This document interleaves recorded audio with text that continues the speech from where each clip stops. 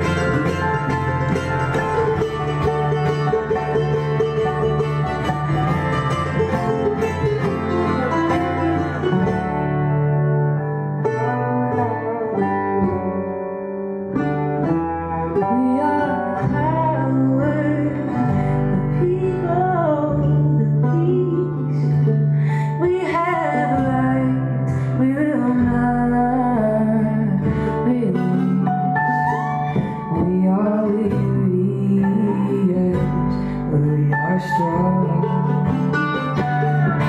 We are one and we are right where we belong.